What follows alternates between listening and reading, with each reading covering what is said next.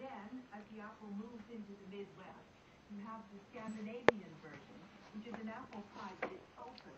It has a crust with chopped walnuts and lots of cinnamon, but it's still an apple pie. These pies, from that moment, became the image of America the nation, self-sufficiency, colonial beginnings, and most of all, moms.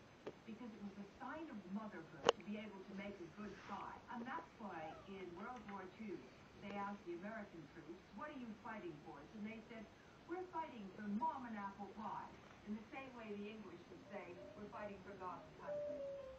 The apple pie might have begun its American journey as a result of the British settlers' unwillingness to try new things,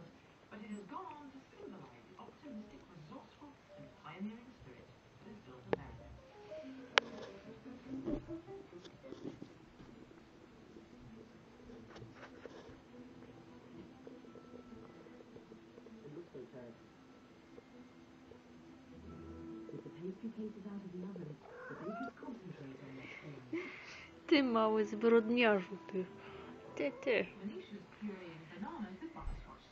Good cat, good cat.